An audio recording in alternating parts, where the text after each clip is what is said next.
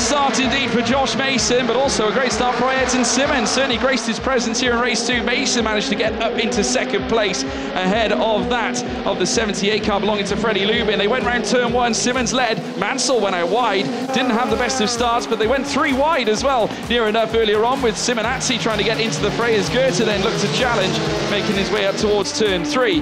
Once again, they duelled. This time it was Josh Mason, Ayrton Simmons, getting really up close and personal on the outside of Schlossgold out of turn four. Ayrton Simmons would venture into the turf, as now we're seeing Mason once again, this time at turn three, losing out to Vladislav Lomko, who would then go on to lead the way. Mansell was right in the thick of it, though. He had Simonazzi breathing down his neck. A great performance from the Italian, but Mansell dazzled us with certainly some immense dive bombs and great execution of overtakes heading through turn three. Of course, this one surprising Simmons, who rejoined the circuit with Simonazzi alongside him. Simonazzi, once again, as I said earlier, a great display. Mansell would then again go again at turn three. This would push out uh, his co-compatriot out wide as well, allowing Simonazzi to go ahead of the pair of them. Lubin dropping back.